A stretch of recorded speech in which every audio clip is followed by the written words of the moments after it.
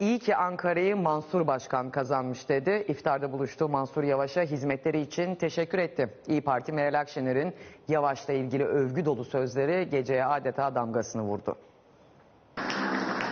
Önümüzde bir seçim var. Erken veya geç. Bu insanlar için çalışacağız.